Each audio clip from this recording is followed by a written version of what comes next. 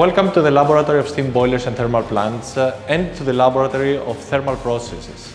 My name is Sotirios Karellas and I am the Director of the Laboratory of Thermal Processes. In this video, I will uh, guide you to the marine activities in which both labs are jointly working towards the increase of energy efficiency and energy savings in the ships. Our laboratories have been working within the last years in the development of waste heat recovery technologies such as the organic Rankine cycle and sorption cooling towards the realization of zero waste heat in industrial processes but also in marine applications. Within this framework, uh, the laboratories have developed uh, an innovative marine ORC plant for the utilization of low temperature heat from ship engines.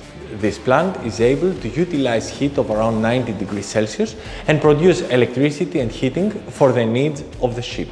At the very promising Horizon 2020 European project ENGIMMONIA, in which our laboratories are responsible for the scientific coordination of the project, the focus is uh, the development of energy efficiency solutions and operational practices providing assistance in the design and development of the organic Rankine cycle system. In the renovated steam boiler facility of the Laboratory of Steam Boilers and Thermal Plants, it is possible to produce up to 11 bars of saturated steam with a total power of 2 megawatt thermal. In the current state, uh, the facility can provide thermal conversion systems either directly with steam or with water glycol mixture streams with the help of two large heat exchangers of 700 kilowatt thermal each.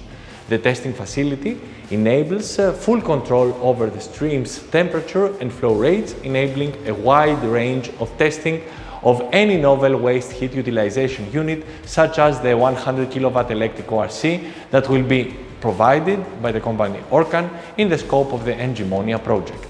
In addition to the ORC, two other technologies will be investigated in the project, an adsorption chiller and a series of photovoltaics.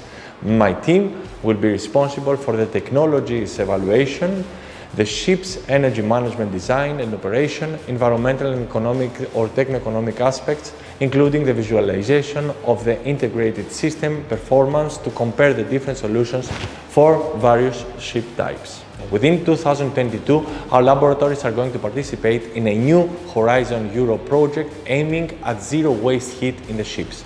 In this project, the labs will work on the design and production of an organic Rankine cycle system using waste heat towards the production of electricity, heating and cooling.